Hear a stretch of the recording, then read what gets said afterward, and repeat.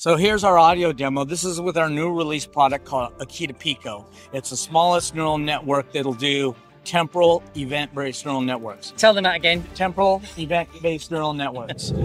Hello, IPXers. We are yet again at Embedded World, Texas, Austin. LLMs. That's what we're going to be talking today with Todd from BrainChip. Now, first question I'm going to ask him is about legacy.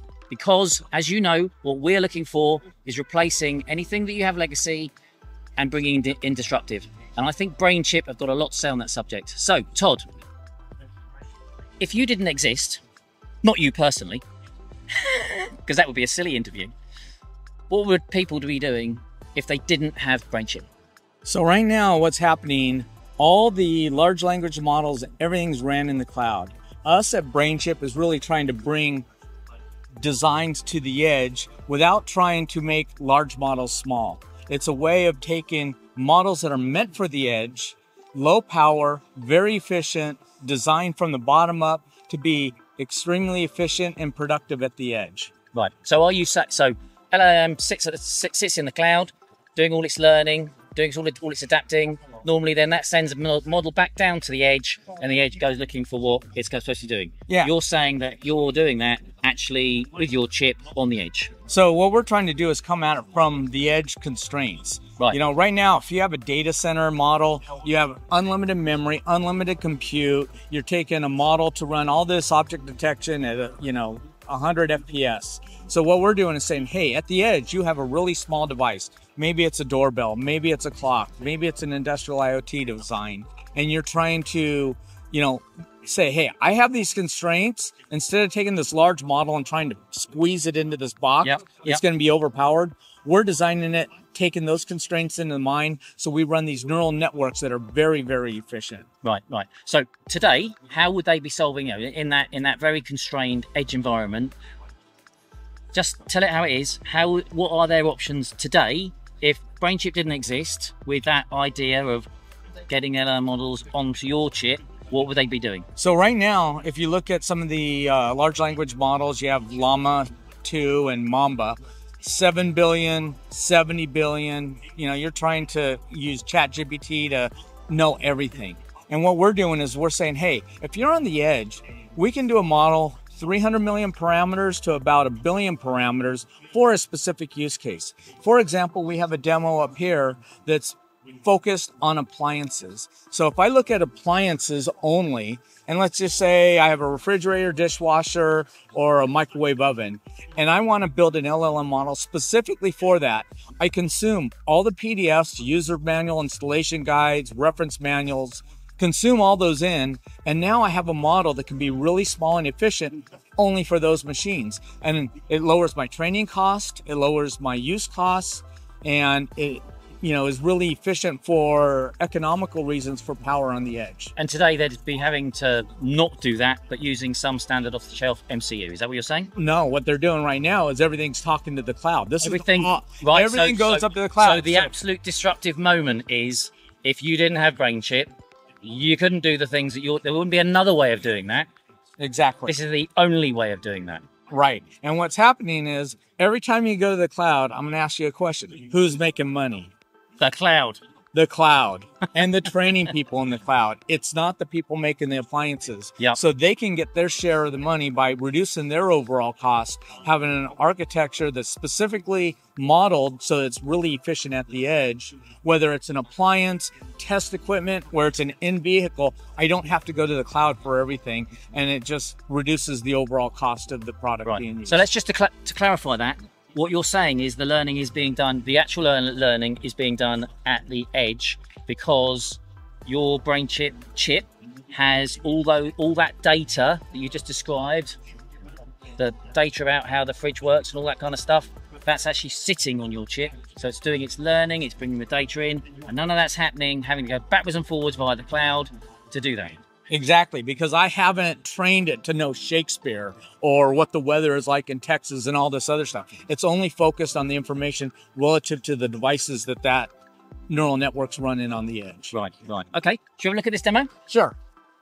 So, what we're doing right here, I have essentially LLMs on the edge, and if, are you familiar with RAG? retrieval augmented generation. So it's uh-uh. gonna. I'm not, but they will be. Okay. So what we're doing is we have these three appliances. So if I look at like a refrigerator, and I bring this in, oops, and I have an assistant says, "Hey, what do you need help with?"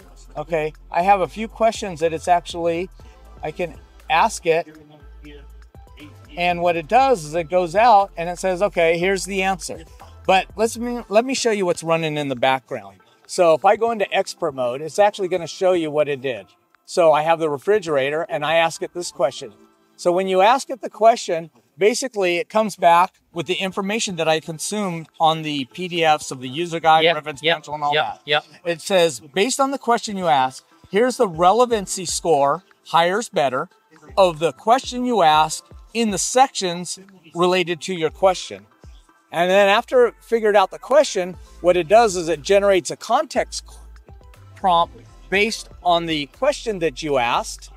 And then when you ask Akida, there's the answer it spits out. Right. So all that's running, you know, you saw it run in real time, really So, fast. so if it's learning, which is the whole definition of what you're doing, most of the time, that's going to be able to answer the question based on the data that you've given it. Yes. User behavior changes, though, doesn't it? It changes geographically and it changes culturally. hmm So, how uh, the true definition of AI is that it would be learning as it goes along. So, how do you deal with? I mean, would you get over there updates that say, "I didn't know the answer to that question," it then goes back to the cloud and it learns? What would happen there? So it's taken all the PDFs of the consumables and created a vector database. Yeah. Okay. So I'm rereading that information as the user manuals, reference guides, service manuals, all this stuff gets updated. So I'm always having more and more content, but it's really driving for the edge. So it can Yeah, yeah. No, I understand. So, so there still is over the air. So, so there is still absolutely cloud interaction. on so, on the training side. Yes. I still train it as I would normally. This is on the inference side on the edge. Yeah. So now I have a small model on the edge that runs any one of these use cases. And whether it's, you know, appliances, whether it's car, TVs, you know, I'll, I'll ask you a question. You have a dishwasher. How many how many of those buttons do you actually push? Usually it's one. On, go. That's it. Right? So, but this man just asked me if I fill up my own dishwasher. but wouldn't it be nice if you said, okay, hey, dishwasher, how, you know, I only have half a load. Which buttons do I push? And it says, boom, boom, boom.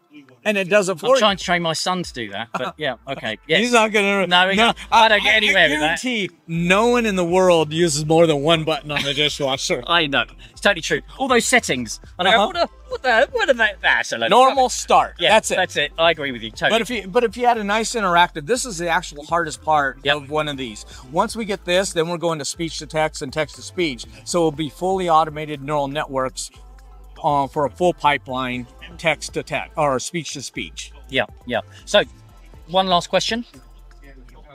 Understand everything that's going on. Compute at the edge. Learning on the edge. All the data on the chip. Doing all the interaction. Ready to answer all the questions. It sends data back. I'm taking. So, how does that work? How do you get involved with? Do, do you have a platform where this data goes and you can help the OEM, or do they have to do that? Now, so we actually came up with this model. This is what we call a TENNs model, temporal event neural network. So actually, Say that again. temporal event neural networks. So it's taking the spatial temporal component, which is a really efficient way of doing, um, you know, neural networks. Right, right. I don't understand the answer. What, how that answers the question about. Uh, So you don't You- need anything on out there anymore. It's all local. Everything is local. well, if that's the case, how does my dishwasher talk to his dishwasher? So It's that, not talking to his dishwasher. No, but in terms of learning, in terms of when things change, the data's got to go up to the cloud somewhere. So as it trains, the you know it, it's just like updating your phone. You're gonna update it, and it may, it'll probably do it automatically. You won't need to do anything. Right. Okay. It's done by the appliance guys. Right. Okay.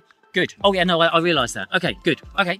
Okay. Excellent. Well, there we go. So, large language models on the edge using BrainChip in order that it learns. It's got all the data sitting there waiting to do everything. So the people in the cloud, those dirty little rotten scoundrels making all that money out of your clever ideas, you no, longer need, no longer need to do that because everything's going to be done at the edge.